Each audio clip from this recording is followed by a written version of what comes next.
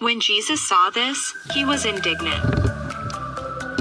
He said to them, Let the little children come to me, and do not hinder them, for the kingdom of God belongs to such as these.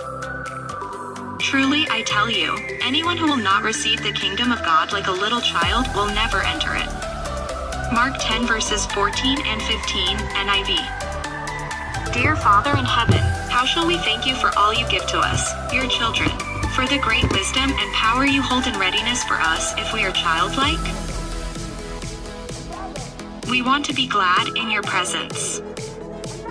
We do not want to weep and complain, though tears often threaten to come. We simply want to ask you to protect us, your children. Protect all your children on earth. Let the pain that breaks over them be taken away, for the sake of the whole world. Even when we must follow a hard road, let all the suffering we endure become part of the fight that brings in the kingdom of heaven, bringing your purpose to the earth and great mercy to the peoples. Bringing to all the world the wonderful forgiveness that enables men to be reborn, until at last all are called your children. Sustain us. Help us. Bless us.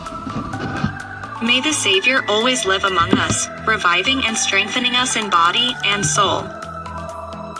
Amen.